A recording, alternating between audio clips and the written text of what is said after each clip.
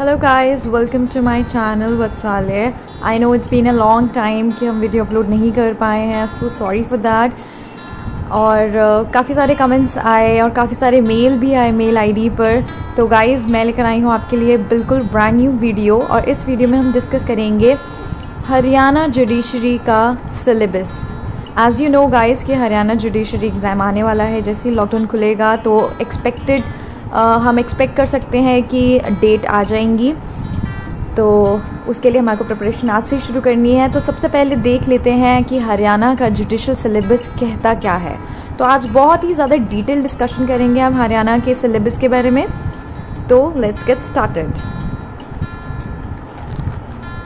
यहाँ पे मैंने बहुत ही डिस्क्रिप्टिव डिटेल लिख रखी है हरियाणा जुडिशल सर्विस सिलेबस की। तो अभी हम इसको डिस्कस करते हैं। एज़ यू नो गाइस कि हमारे जुडिशरी में थ्री स्टेजेस होते हैं preliminary exam mains exam and interview और यहाँ पे हमारा हरियाणा जुडिशल में पहले होगा हमारा प्रीलिमिनरी एग्ज़ाम जो कि ऑब्जेक्टिव होगा मतलब एम होंगे, आपको एम सॉल्व करने होंगे, और एक एम पे क्लिक करना होगा। उसके बाद है मेंस एग्ज़ाम जो कि आपका रिटर्न एग्ज़ाम होगा, जिसके अंदर आपको आंसर राइटिंग करनी होगी। उसके बाद है हमारा इंटरव्यू जो हमारा वाइवा वॉइस होगा। उसके बाद अगर ये तीनों स्टेजेस हम क्लियर कर लेते हैं तो हम हरियाणा जुडिशल ऑफिसर बन जाएँगे, जो हम सबका ड्रीम है। तो गाइज़ सबसे पहले शुरू करते हैं प्रीलिमिनरी एग्ज़ाम इसके अंदर आपके पास आएँगे 125 क्वेश्चंस और हर क्वेश्चन पे आपको फोर मार्क चार नंबर की मार्किंग है हर क्वेश्चन पे। 0.80 नेगेटिव है। याद रखिएगा कि प्रीलिमिनरी एग्ज़ाम में हरियाणा जुडिशल की नेगेटिव मार्किंग है। और लेकिन अगर आप कोई भी क्वेश्चन अनअटेम्प्टेड छोड़ते हैं मतलब उसका कोई भी आंसर नहीं करते तो उसके लिए आपके लिए आपके आ, कोई भी नेगेटिव मार्किंग नहीं होगी।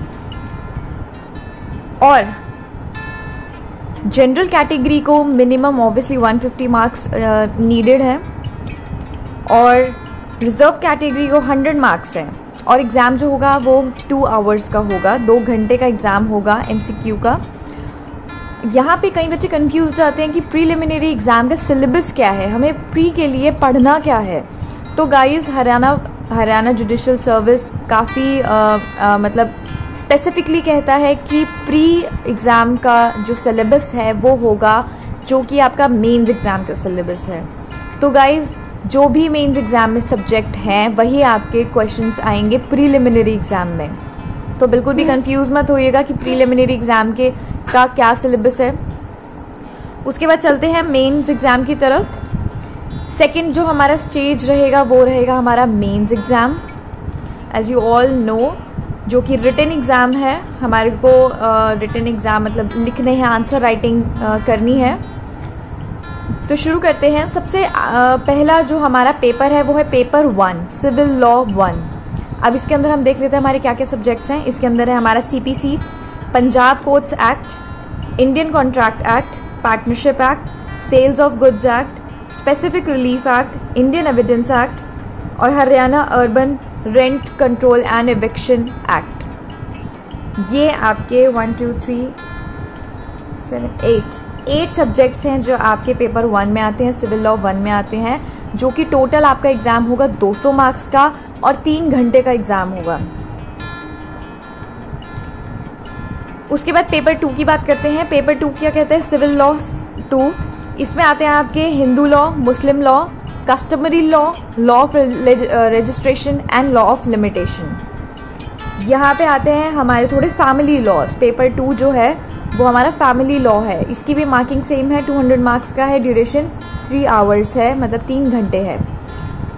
अब गाइज़ हरियाणा काफ़ी ज़्यादा फोकस करता है फैमिली लॉ पे। आप देख सकते हैं एक स्पेशल एक आ, मतलब इनमें से आ, इस पूरे सिविल में से अलग कर रखा है इन्होंने फैमिली लॉ तो काफ़ी ज़्यादा फोकस है हरियाणा का फैमिली लॉ तो फैमिली लॉ को आप बहुत अच्छे से प्रिपेयर करिए और फैमिली लॉ इतना मुश्किल भी नहीं है। एज़ कंपेयर टू यहाँ पे सारे के सारे काफ़ी ज़्यादा मतलब कॉम्प्लिकेटेड सब्जेक्ट्स हैं कुछ ना कुछ। जैसे सीपीसी हो गया उसके बाद स्पेसिफिक रिलीफ एक्ट हो गया। ये कुछ कॉम्प्लिकेटेड सब्जेक्ट है कम्प्लेक्स सब्जेक्ट हैं। वो सब एक तरफ़ कर रखे हैं और फैमिली लॉ एक तरफ़ कर रखा है। तो फैमिली लॉ इतना मुश्किल भी नहीं है। आपको ज़रूर इस फैमिली लॉ पे फोकस करना चाहिए। एक स्पेशल एग्ज़ाम उन्होंने यहाँ पे बना रखा है। उसके बाद चलते हैं। पेपर थ्री है। वो है हमारा क्रिमिनल लॉ सेम 200 मार्क्स का है। ड्यूरेशन थ्री आवर्स है। इसमें आता है आपका IPC Indian penal code CRPC criminal procedure code और इंडियन एविडेंस एक्ट और याद रखिए Indian evidence act paper one में भी है पेपर थ्री में भी है। तो यहाँ पे आपके जितने भी आ, सिविल जो आ, सिविल में जब इंडियन एविडेंस एक्ट हम अप्लाई करते हैं तो ये वहाँ से क्वेश्चन बनेंगे। और यहाँ पे पूरा की पूरा जो एविडेंस एक्ट है जो क्रिमिनल लॉ से डील करता है यहाँ से उनके क्वेश्चंस बनेंगे। तो कंफ्यूज मत हो जाइएगा कि इसके लिए क्या पढ़ना है। एविडेंस एक्ट आपको पूरा पढ़ना है। लेकिन जो एप्लीकेशन होगी सिविल और क्रिमिनल की, वो आपके पेपर्स में दिखनी चाहिए कि आपको एविडेंस एक्ट सिविल से रिलेटेड भी आता है और एविडेंस एक्ट क्रिमिनल से रिलेटेड भी आता है। आपके आंसर्स में ये काफ़ी ज़्यादा डिस्क्रिप्टिव होना चाहिए कि आपको सिविल और क्रिमिनल दोनों एविडेंस एक्ट की काफ़ी ज़्यादा नॉलेज है। चलते हैं हमारे अगले एग्ज़ाम की तरफ़, जो है पेपर फोर इंग्लिश यहाँ पे है इंग्लिश इंग्लिश में आता है आपका एसे जिसमें थाउज़ेंड से वन इलेवन हंड्रेड वर्ड्स आपको लिखने हैं। सेम है टू हंड्रेड मार्क्स का है थ्री आवर्स का है। प्रेसी राइटिंग मतलब एक बड़े से कॉम्प्रिहेंसिव पैराग्राफ को आपको प्रिसाइज करना है मतलब छोटा करके लिखना है सिंपल वर्ड्स में। उसके बाद आते हैं आपके वर्ड्स एंड फ्रेजेस इसमें आपके ईडियम्स भी आते हैं। आपको मुहावरे भी इंग्लिश मुहावरे भी आपको चेक करने पड़ेंगे, आपको लर्न करने पड़ेंगे। कॉम्प्रिहेंशन है और करेक्शंस है। याद रखिए दोस्तों कि जो इंग्लिश का एग्ज़ाम मतलब जो लैंग्वेज पेपर्स हैं, उसमें ज़रूरी नहीं कि ये सारी चीज़ें आए। ये पूरी की पूरी पाँच चीज़ें आए। हो सकता है कि करेक्शंस ना आए, हो सकता है वर्ड्स फ्रेसेस ना आए, या फिर ये चार चीज़ें आ जाए। तो ज़रूरी नहीं है कि ये सारी की सारी चीज़ें आएँगी हाँ लेकिन इनमें से कोई भी चीज़ आ सकती है तो आपकी प्रिपरेशन में सारी चीज़ें इंक्लूड होनी चाहिए। उसके बाद है हमारा पेपर फाइव हिंदी। जिसमें आता है translation English to Hindi and Hindi to English. Hindi passage आता है पोइट्री आती है मतलब पद्यांश और गद्यांश, दोनों आते हैं। कॉम्पोजिशन आता है एसे मुहावरे आते हैं करेक्शंस आते हैं। ये होता है आपका हंड्रेड मार्क्स का और टाइमिंग्स होती हैं आपकी थ्री आवर्स और गाइज़ मैं आपको लैंग्वेज पेपर में एक चीज़ बताती हूँ कि आप जब हरियाणा एग्ज़ाम जुडिशल एग्ज़ाम की तैयारी करें तो हिंदी पे ज़रूर फोकस कीजिए। क्योंकि हरियाणा जो है, वो हिंदी पे काफ़ी ज़्यादा फोकस करता है। आपकी जो हिंदी होनी चाहिए, वो नॉर्मल से थोड़ी सी अच्छी होनी चाहिए। मतलब आपको लीगल टर्म्स हिंदी के पता होने चाहिए। आपको कुछ सिनोनिम्स आने चाहिए हिंदी के। तो गाइज़ हिंदी पे थोड़ा ज़्यादा फोकस करिए। जब आप पढ़ रहे हैं, जब आप बैरक्स पढ़ रहे हैं तो अगर आप इंग्लिश मीडियम के हैं तो आप हिंदी पे ज़रूर स्विच किए कीजिए। जो वर्ड्स हैं इंपॉर्टेंट जो मेन वर्ड्स हैं प्लेंटिव डिफेंडेंट उनकी आपको हिंदी आनी चाहिए। क्योंकि हो सकता है कि लीगल ट्रांसलेशन आ जाए। तो लीगल ट्रांसलेशन आ गई तो बहुत मुश्किल हो जाएगा आपको उन चीज़ों को ट्रांसलेट करने में। हम हिंदी से इंग्लिश तो आसानी से कर लेते हैं, लेकिन इंग्लिश से हिंदी करना थोड़ा मुश्किल हो जाता है। तो गाइस बिल्कुल भी हिंदी पे कॉम्प्रोमाइज मत कीजिए और लैंग्वेज पेपर पे बच्चे ज़्यादा फोकस नहीं करते हैं क्योंकि उनको लगता है कि इजी है। लेकिन लैंग्वेज पेपर काफ़ी ज़्यादा स्कोरिंग सब्जेक्ट्स हैं स्कोरिंग पेपर हैं, इन पे आप ज़रूर फोकस कीजिए। क्योंकि ये आपको ज़्यादा से ज़्यादा मार्क्स दिला सकती है। मतलब थोड़ी मेहनत आपको ज़्यादा मार्क्स दिला सकती है। तो गाइज़ लैंग्वेज पे कोई कॉम्प्रोमाइज़ नहीं चलेगा। उसके बाद लास्ट आता है जब हमारा मेंस एग्ज़ाम क्लियर हो जाएगा तो ऑब्वियसली हमारे पास इंटरव्यू है। हमारे को 200 मार्क्स का जो इंटरव्यू है वो क्लियर करना है। उसके बाद आपका जो ड्रीम है, मेरा जो ड्रीम है, वो साकार हो जाएगा। हम एक जुडिशल ऑफिसर बन जाएँगे। लेकिन उससे पहले हमारे को ये सारी चीज़ें जो हैं, जो मैंने आपको डिटेल दी है, ये सारी चीज़ें हमारे को पढ़नी है और काफ़ी अच्छे से अपने अंदर घोल के पी जानी है। दूसरी बात, मैं आपको एक चीज़ बता दूँ कि हरियाणा का सिलेबस कभी भी कॉन्स्टिट्यूशन स्पेसिफिकली नहीं बोलता है।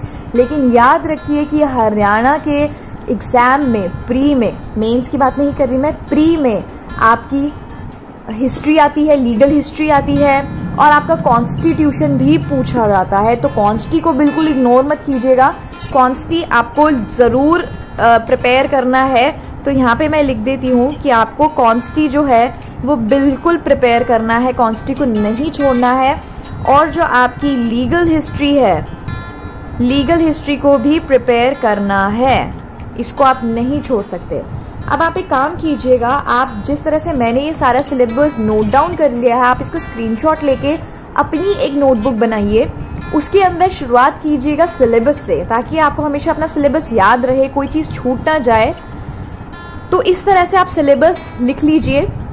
उसके बाद जैसे जैसे आप अपने सब्जेक्ट्स बैराक्स पूरी करते जाएँ उसके आगे टिक मार्क कर दीजिए कि मेरा पंजाब कोर्ट्स एक्ट हो गया है, मेरा सेल्स ऑफ़ गुड्स एक्ट हो गया है, ये सारे एक्ट्स हो गए हैं, ये लॉ कंप्लीट हो गया है, उसके आगे टिक करते जाइए और जब कंप्लीट कर ले तो लास्ट में रिवीजन ज़रूर कीजिएगा, चाहे वो प्री हो मेंस हो इंटरव्यू हो revision is the must revision is the key to pass the exam तो गाइस बिल्कुल भी वेट मत कीजिए, आज से ही अपना सिलेबस लिखिए, अपनी नोटबुक में और शुरू हो जाइए प्रिपरेशन और गाइज़ याद रखिए नेगेटिव मार्किंग है, हमारे को बिल्कुल रिस्क नहीं लेना प्रीलिमिनरी एग्ज़ाम में। तो जिस हिसाब से मैंने आपको सिलेबस ये नोट डाउन करके दिया है, आप इसका स्क्रीनशॉट ले लीजिए और अपनी नोटबुक में आप उतार लीजिए ताकि आपको इजी हो जाए ये सारी चीज़ें कंप्लीट करना। तो गाइज़ आज हमने डिस्कस किया है हरियाणा जुडिशल सर्विस का सिलेबस बहुत ही डिटेल में डिस्क्रिप्टिव में डिस्क्रिप्टिव वे में। तो अब आप यहाँ से बिल्कुल तैयारी कीजिए और आगे जितनी भी हरियाणा की हरियाणा जुडिशल सर्विस की वीडियोस होंगी बहुत जल्दी अपलोड करेंगे और हरियाणा के सिलेबस को कंप्लीट करने की कोशिश करेंगे। और मैं सबसे ज़्यादा फोकस करती हूँ लैंग्वेज पे तो हम लैंग्वेज पे काफ़ी ज़्यादा फोकस करेंगे और आ, अगली वीडियो में मैं आ, कोशिश करूँगी कि मैं लीगल ट्रांसलेशन से शुरू करूँ क्योंकि ट्रांसलेशन में बच्चों को मुश्किल आती है। जिनको इंग्लिश आती है, उनको हिंदी में मुश्किल है, जिनको हिंदी आती है, उनको इंग्लिश में मुश्किल है। तो हमारे को लैंग्वेज पे कंट्रोल होना बहुत ज़रूरी है। तो गाइज़ अगर आपको ये वीडियो पसंद आई है, आपके लिए हेल्पफुल है तो वीडियो को लाइक ज़रूर कीजिएगा। शेयर कीजिएगा अपने सारे फ्रेंड्स के साथ जो कि प्रिपरेशन कर रहे हैं जुडिशरी एस्पिरेंट है, या फिर जो एलएलबी कर रहे हैं एलएलएम कर रहे हैं, सबके साथ ये शेयर कीजिएगा वीडियो चैनल को सब्सक्राइब करे बिना बिल्कुल भी मत जाइएगा, क्योंकि आपके लिए वीडियोस बनाने में काफ़ी ज़्यादा मेहनत लगती है। तो गाइस हमारे को जो आपका प्यार है, वो सब्सक्राइब से लाइक से कमेंट से दिखता है व्यू से दिखता है। तो गाइस अपना प्यार शॉवर कीजिए हम पर। And thank you so much guys for watching और आगे ही इस तरह की वीडियो आती रहेगी, जिससे आपकी जुडिशरी प्रिपरेशन जो है, वो बहुत ही ईजी हो जाएगी। और उसमें हम भी भागीदार होंगे आपकी प्रिपरेशन के टाइम पे। तो guys thank you so much guys for watching and शब्बा खैर